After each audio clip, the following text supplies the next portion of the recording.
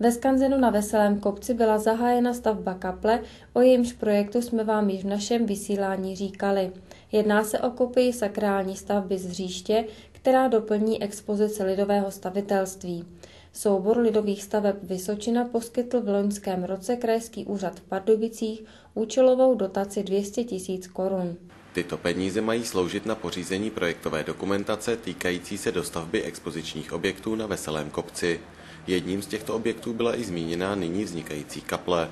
Stavba se realizuje z finančních prostředků Národního památkového ústavu územního odborného pracoviště v Pardubicích.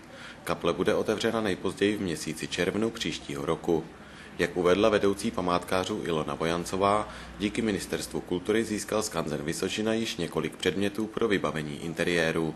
Památkáři se těší, že sakrální objekt vhodně doplní areál lidových staveb a přinese možnost dalších aktivit v oblasti pořádaných programů i nabídce doplňkových služeb, jako například svatebních obřadů.